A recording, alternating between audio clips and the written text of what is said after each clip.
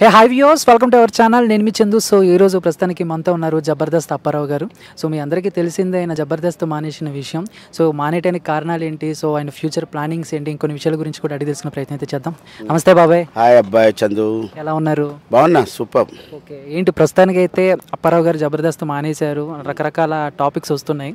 So ఏ మానేశారు. అంతే. మానేశారా? లేదు. మానేశారు. ఏంటి బాబాయ్ రీజన్ ఏంటి అసలు? రీజన్ ఏమిటన్నది నేను చాలా ఇంటర్వ్యూలో చెప్పాను. లాక్డౌన్ తర్వాత నన్ను హోల్డ్లో పెట్టారు. ఆ హోల్డ్ తర్వాత నాకు కొద్ది మనసు బాధ అనిపించి మానేశాను ఓకే. అంటే ఇప్పుడు మేము చాలా షోస్ కానీ లేకపోతే ఈటీవీ ప్రసారమయ్యే చాలా షోస్ కానీ లేకపోతే కొన్ని కొన్ని జబ అన్నిట్లో చూసాము. మీ పర్ఫార్మెన్స్ కానీ సతీ సమేతంగా ఇంత చేస్తూ ఇంత హైప్ ఇచ్చి సడన్గా అప్పారావు గారిని పక్కన పెట్టడానికి కారణం ఏమనుకోవచ్చు? పక్క ఈ మాట నన్ను అడిగే కన్నా మేనేజ్మెంట్ వాళ్ళని అడిగితే బాగుంటుంది నా కో టీమ్ లీడర్ బుల్లెట్ భాస్కర్ని అడిగితే బాగుంటుంది. వాళ్ళ దగ్గర నుంచి ఎందుకు అని అంటే వాళ్ళు చెప్పేది నా పాయింట్ ఆఫ్ వ్యూలో నన్ను హోల్డ్లో పెట్టారు అది నాకు అది బాధ అనిపించింది. మ్, దాంతో నేను మానేయడానికి గల కారణం కూడా అదే. అక్కడ నాకు విభేదాలు లేవు. లేవు మేనేజ్మెంట్ విభేదాలు లేవు.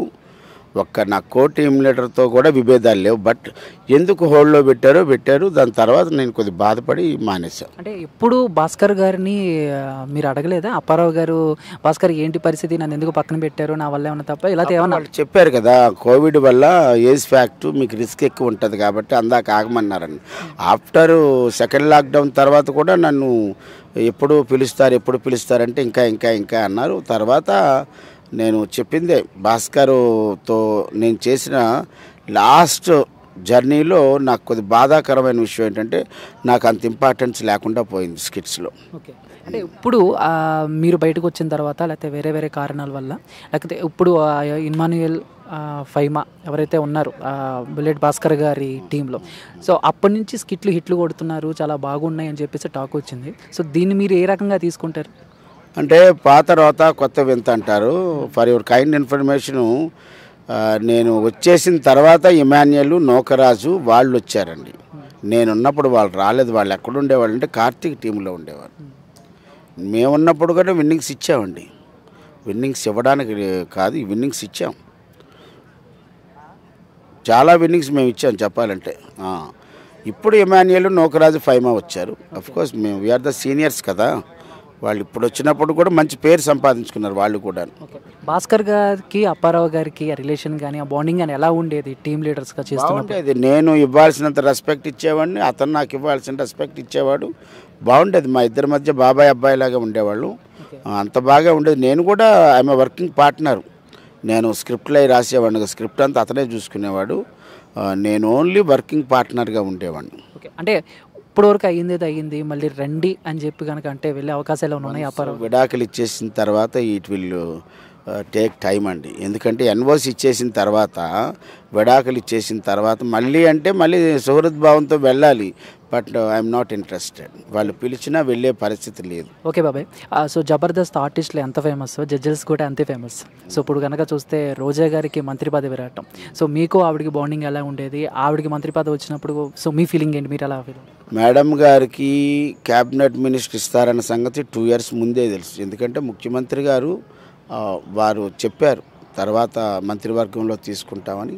మేడం గారు కూడా మంత్రివర్గంలోకి వెళ్తారు. క్యాబినెట్ మినిస్టర్ అవుతారు అనుకున్నాం అయ్యారు. చాలా సంతోషం. మేడం గారు అవ్వాలి. అయినందుకు కూడా మాకు చాలా చాలా ఆనందంగా ఉంది. ఒక అగ్ర హీరోయిన్ ఇండస్ట్రీలో చాలా మంచి వ్యక్తి అని చెప్తా. ఇప్పుడు నేను వెళ్ళి పలకరించినా అంతే మర్యాద ఇస్తారు చమక్ చంద్ర గారు లాంటి ఒక సూపర్ స్టార్ వెళ్ళినా అంతే మర్యాద ఇస్తారు ఒక నాటి నరేష్ లాంటి ఒక అప్కమింగ్ ఆర్టిస్ట్ వెళ్ళినా అంతే గౌరవిస్తారు. మేడం గారిలో అదే ఉండదు. వాళ్ళు చిన్న వీళ్ళు పెద్దలు అందరూ వీఆర్ ఆల్ ఈక్వల్గా మా వై బికాజ్ జబర్దస్త్ని ఆమె గౌరవించింది లవ్ చేసింది బాగా. ఓకే. అంటే ఇప్పుడు ఆవిడ జబర్దస్త్కి పులి స్టాప్ పెడుతున్నారు అని చెప్పేశారు. ఎందుకంటే మంత్రి అయిన తర్వాత చాలా పనులు ఉంటాయి కాబట్టి. సో ఏంటి ఇప్పుడు ఆవిడ లేని లోటు తీరందా? లేకపోతే ఇంకెవరైనా ఉన్నారా? ఇంద్రజ గారు ఆమని గారు లాంటి వాళ్ళు ఎవరైనా? ఇప్పుడు ఒకరు వెళ్ళిపోయినంత మాత్రం ఏ షో ఆగదు. అది అందరికీ తెలిసిందే. నాగబాబు గారు వెళ్ళిపోయారు. ఆ షో ఆగిందా? ఇప్పుడు మేడం గారు వెళ్ళిపోయారు. వెళ్ళిపోవడానికి అవకాశం వచ్చింది. ఆగుతుంది ఆగదు. కానీ వాళ్ళు లేని లోటైతే లోటే. బాబు గారు రోజా మేడం గారు లేని లోటు లోటే. ఎవరు వచ్చినా సోకాళ్ళు ఇప్పుడు ఇందిరాజా మేడం గారు కానీ ఆమని గారు కానీ మనో గారు కానీ ఎంతమంది ఉన్నప్పటికీ వీళ్ళని మీరు ఇప్పుడు నేను చెప్పిన ఇందిరాజా గారిని ఆమని గారిని మనో గారిని అడిగితే ఎస్ బాబు గారు రోజా మేడం గారు మంచి జోడి అంటారు. అది రీప్లేస్ చేయటం అనేటటువంటిది కష్టం. ఎందుకంటే సంవత్సరాలు ఎనిమిది సంవత్సరాలు వాళ్ళని ఎక్కడ బోర్ కొట్టకుండా ఉన్నారన్నమాట. ఎందుకంటే వాళ్ళు అంతగా గౌరవించారు జబర్దస్త్ని. ఇప్పుడు నేను లేటెస్ట్గా సోషల్ మీడియాలో విన్నది ఏంటంటే సుమా మేడం గారు రోజా మేడం గారు ప్లేస్లోకి రావచ్చు అన్నారు. ఇది శుభపరిణామం. వస్తే చాలా బాగుంటుంది. మేడం కొన్ని ఫాలోయింగ్ అటువంటిది కాబట్టి డెఫినెట్గా సుమా గారు వస్తే ఇంకో తీరులో ఉంటుంది. ఓకే. బాబాయ్ ఇన్నాళ్ళు మీరు జబర్దస్త్ చేశారు. సో జబర్దస్త్ అనగానే అప్పుడప్పుడు కొంచెం కాంట్రవర్సీ అవుతూ ఉంటుంది కొంచెం ఒక కామెడీ అండ్ ఫ్యామిలీ సో చాలా జరుగుతూ ఉంటాయి. ముఖ్యంగా చూసుకుంటే జంటలు. సో జబర్దస్త్ జంట అనగానే రష్మి గారు సుధీర్ గారు గుర్తొస్తారు. ఆ తర్వాత కొంతమంది అలా ట్రై చేస్తున్నా. సో ఇంకొంచెం ఒక రకంగా ఎక్కువ క్లిక్ అయింది వర్ష ఇమాన్యుయల్. సో ఏంటి ఆ జంటల గురించి వర్ష ఇమాన్యుల్ మధ్య నిజంగానే ఉందా? లేకపోతే అన్నీ తెలిసిందే క్రియేట్ చేస్తారని బట్ వాళ్ళ బాండింగ్ ఎలా ఉంటుంది? ఏంటి మీకు తెలిసినంత వరకు? ఒక్కటే నేను చెప్పొచ్చేది ఒక ప్రొడక్ట్ ఒక సినిమా బాగా హిట్ అయిందంటే కారణం హీరో హీరోయిన్లతో పాటు ప్యాడింగ్ ఆర్టిస్ట్తో పాటు రైటర్తో పాటు కెమెరామెన్లు అందరితో పాటు డైరెక్టర్ ఉంటారు కెప్టెన్ ఆఫ్ ది షిప్. ఒక చిత్రం అటర్ ఫ్లాప్ అవడానికైనా ఒక చిత్రం సూపర్ డూపర్ హిట్ అవ్వడానికైనా కారణమే ఒక డైరెక్టర్. వాళ్ళు చేసినటువంటి ఒక క్రియేషన్. వాళ్ళు అనుకుంటారు వీళ్ళు ఇలా తీసుకొని వెళ్దాం వాళ్ళు అలా తీసుకొని వెళ్దాం వీళ్ళు ఇలా తీసుకెళ్దాం అంటే అది హిట్ కాంబినేషన్ అయిందనుకోండి దాన్ని అలా ముందు తీసుకెళ్తారు. దీనికి ముందు రో- రేష్మి గారు సుధీర్ గారు. ఆఫ్టర్ దట్ వర్ష. వర్ష తర వర్ష ఇమాన్యుయల్ ఆ తర్వాత రాకింగ్ రాకేష్ అమ్మాయి సుజాత జోర్దార్ సుజాత. ఇలా వాళ్ళు ఒక వాళ్ళు ఇప్పుడు కాలు ఇప్పుడు మీరు ఏం చేస్తారు? ఉదయం లేచిన దగ్గర నుంచి ఇక్కడ ఓపెనింగ్కి వచ్చారు అయిపోయింది. నన్ను క్యా క్యాచ్ చేశారు నా ఇంటర్వ్యూ అయిపోయింది. ఇంకో దగ్గరికి వెళ్తారు కదా. వాళ్ళు షూటింగ్ లేనప్పుడు కూర్చొని ఏ స్కెచ్ వేద్దాం? ఎలా దీన్ని తీసుకెళ్తాం? ఏ ఈవెంట్ చేద్దాం? దీనిలో ఏ ఫార్ములా వాడదాం? ఇవన్నీ క్రియేటర్ బ్రెయిన్.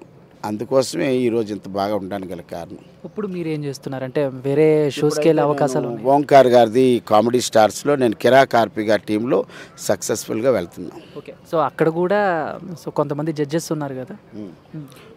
ఇద్దరే జడ్జెస్ ఉంటారు. నాగబాబు గారు ఉన్నారు శేఖర్ మాస్టర్ గారు అంతే.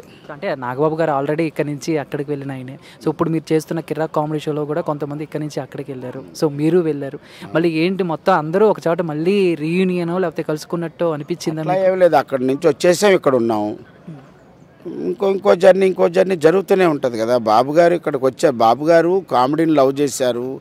మా కష్టం తెలుసు మా సుఖం తెలుసు కాబట్టి ఆయనకి ఇప్పుడున్న పరిస్థితుల్లో ఏం చెయ్యనక్కర్లేదు. ఎందుకంటే అబ్బాయి అందొచ్చాడు వరుణ్ బాబు అందొచ్చాడు. కానీ ఆయనకి ఎందుకంటే జబర్దస్త్ అంటే అంత ఇష్టం. అందుకోసమే ఆయన ఇక్కడికి వచ్చారు. శేఖర్ మాస్టర్ గారు ఉన్నారు. మేమందరం హ్యాపీ ఇక్కడ కూడా. అంటే అక్కడి నుంచి ఇక్కడికి వచ్చారు. చాలామంది ఇక్కడి నుంచి అక్కడికి వెళ్ళారు.